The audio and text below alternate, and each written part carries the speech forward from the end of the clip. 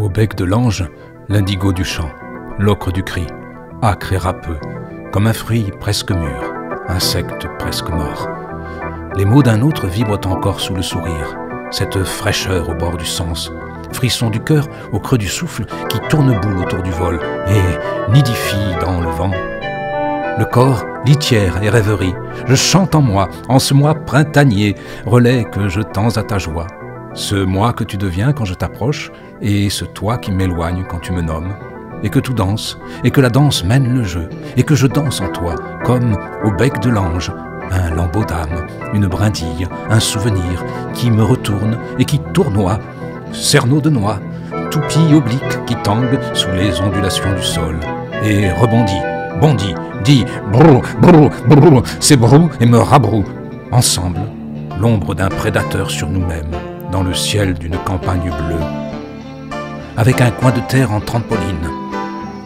Pour l'impulsion et la détente, juste le temps de voir et de saisir ta proie, car tu es belle, mais avec la marque des regards sur ton visage.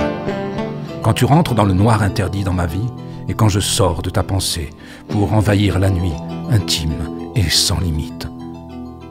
Toi et moi, comme lanterne pour le chemin de l'un à l'autre, étoile piquée dans le plumage de l'oiseau endormi, ta proie, disais-je, ce mot que je dépose au bec de l'ange comme un lambeau, une brindille, un souvenir qui n'est pas encore sûr de lui, qui croit venir et qui se terre au bord de ton pas élastique, qui survient et que tu lis au fil des pas qui nous retiennent au bord du monde.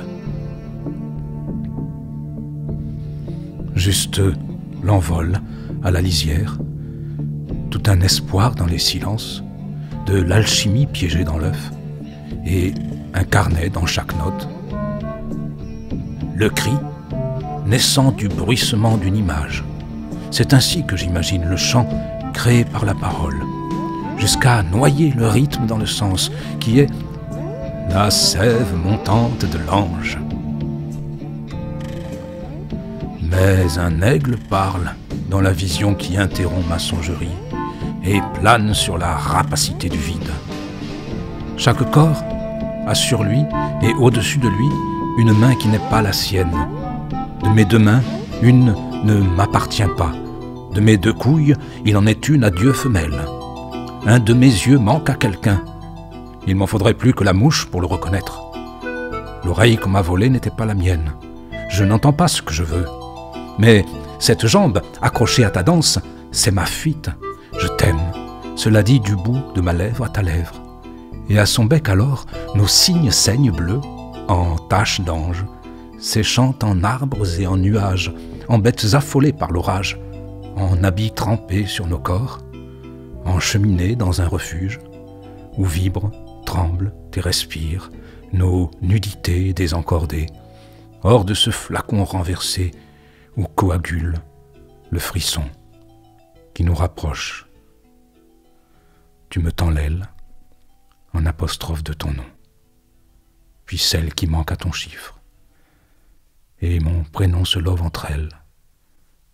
Du bleu me caresse le sang